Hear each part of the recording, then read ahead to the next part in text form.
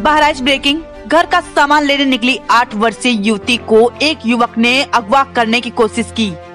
छोटी बाज़ार में घर का सामान लेने निकली आठ वर्षीय युवती को एक युवक ने अगवा करने की कोशिश की। शहर के अस्पताल चौराहे पर स्थित रिसिया होटल के पास लोगों ने बच्चे की चीख पुकार सुनकर अपराधी को पकड़ा और निकट की चौकी कानून गोपुरा पर ले गए। लेकिन वहाँ कोई चौक सिपाही योम चौकी इंचार्ज नहीं मौजूद था।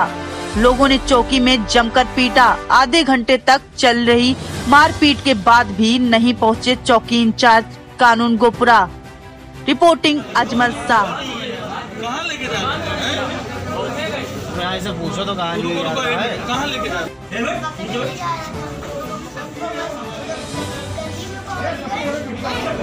थोड़ा हाँ। सही थोड़ा ये आपके घर की है? हाँ बाजी बाजी बाजी